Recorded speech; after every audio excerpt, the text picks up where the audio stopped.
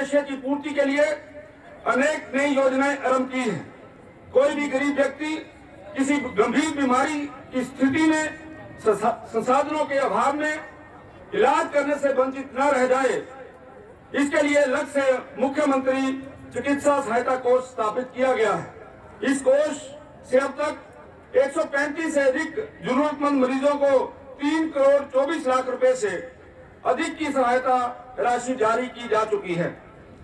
हमने इस वर्ष से गंभीर बीमारी से पीड़ित लोगों का दुख दर्द बांटने के लिए एक महत्वाकांक्षी योजना आरंभ की है।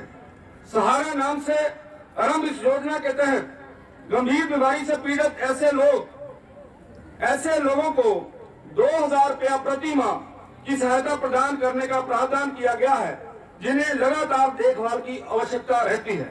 केंद्र सरकार की फ्लैगशिप स्वास्थ्य योजना आयुष्मान भारत को बड़े प्रभावी ढंग से लागू किया जा रहा है। प्रदेश में आयुष्मान में कवर न होने वाले परिवारों के लिए हिम केयर योजना चलाई गई है।